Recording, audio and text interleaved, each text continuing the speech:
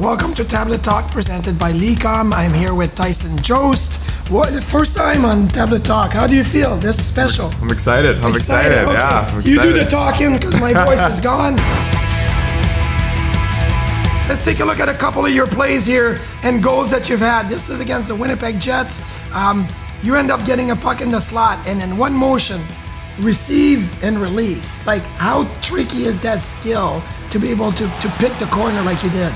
Yeah, it's something we work on a lot. I mean, goalies are so good now. It's, I mean, you know how it is, eh? These goalies, I, I these would- I goalies. I, maybe would have had a chance on that one. Maybe.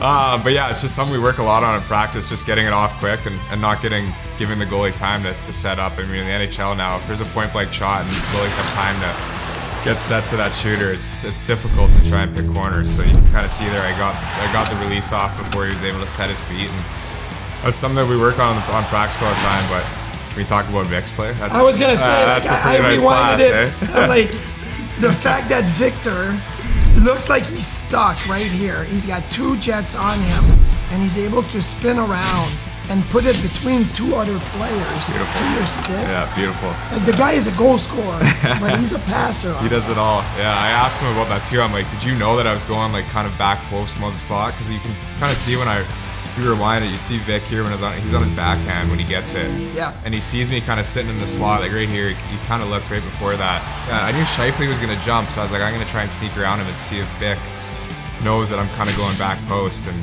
it just worked out perfect. What a pass! This one here against uh, the Tampa Bay Lightning, um, you guys come into the zone, and obviously there's forecheck. In your line, I've been really good on the forecheck. I think you've been a catalyst on that. Um, and I mean, the hard work part of the game before you score a goal. Yeah. Like a lot of time, you see who scored. You see the puck go in the net. You don't realize the hard work for the first 30 seconds that led to it. Can you, like, when you guys get back to the bench, do you talk about it? Yeah, for sure. I mean, it's not even like the first 30 seconds or whatever. It's the three or four shifts even before that. Like you can kind of just like feel it coming. Like you come back to the bench and you're like, we're building momentum here. Like let's keep that up. Let's get on pucks. But yeah, that's how so many of our goals are scored right now. Is getting it on the forecheck. And you can even see if you go back to that little battle that was in the corner with Gus and I there. Um, when, it, when this puck comes to me here, I know Gus is right there, and I know I, I heard Oki talking too. But I like did a little bit of a chip here to Gus, and I'm yelling at him, weak side rim, weak side rim, because we knew all their guys were collapsed. Um, and actually, right before this shift too, Donnie, Donnie in between the intermission was saying you need to get on that half wall, and you're gonna have space, and you're gonna come and be able to get that puck and walk to the middle. So it's funny. It's exactly how he drew it up, and I got back to the bench, and he came and tapped me on the shoulder, and he's like, "What did I tell you there?" I was like, "That's pretty good coachability, eh?" So- well, it's good coachability and good student to Yeah, do exactly, it, right? yeah, So, so- you're coachable as well. Do you have a, a special curve to be able to elevate that puck quickly? I actually used to have a bigger toe curve, and I switched to this one because it's a little bit easier.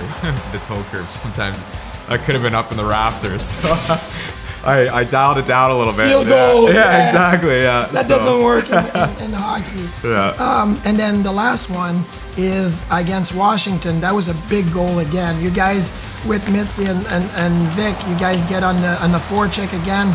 You actually presented your stick for a shot a couple of times. So right here, you're like, okay, I'm ready for the deflection. Like your stick's on the ice. Yeah. You're ready. You're showing it to uh, to Owen in this play.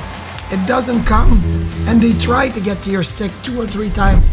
Are you leaning on it? Like, uh, are you hard on your stick? Yeah, I mean you're you got to be ready for the puck. You know someone's either going to come underneath your triangle or over top of you, and I mean when you have guys like OP and Mitz, like their their vision's so so good. So you got to be ready for that puck all the time and having your stick and presenting that. And um, I think it kind of changes the shooter's mind. I mean Mitz right here could could shoot, but I think because I'm in that position and I'm calling for it and I'm, I'm presenting myself, if I'm up here and have my stick by my waist, it's not going to come to me. It's not going to be a goal, but.